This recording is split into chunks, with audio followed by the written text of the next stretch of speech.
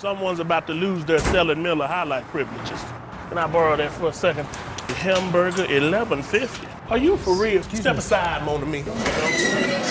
Pardon moi. Excuse us. See, this beer is about helping people live the high life. It's a good, honest beer at a tasty price. Mess with the high life, and the high life will mess with you. Eleven fifty for a hamburger. Y'all must be crazy.